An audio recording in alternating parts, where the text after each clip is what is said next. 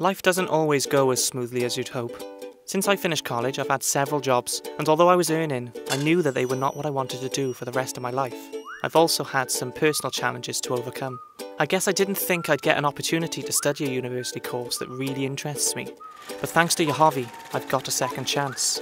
Acting has always been a passion of mine, so when one of my old college tutors contacted me about a new foundation degree in performing arts, I jumped at the chance.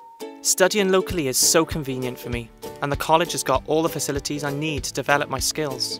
Finding the money to pay for it wasn't a problem either. My tutors gave me all the help and support I needed to get student finance. My dream is to have a career on the stage, and I've already managed to get cast in major theatre production, so I really feel that I've got a good chance of making it happen. It just goes to show that it's never too late. Studying with UHOVI has opened up so many opportunities for me.